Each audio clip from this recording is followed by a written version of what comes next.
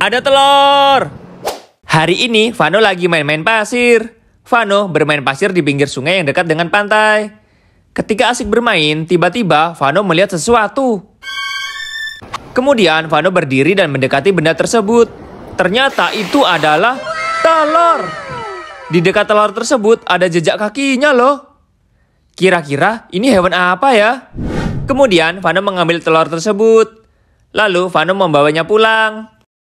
Sampai rumah, Vano memberikan telur tersebut kepada maminya. Kemudian telur tersebut digoreng. Sekarang telurnya sudah matang.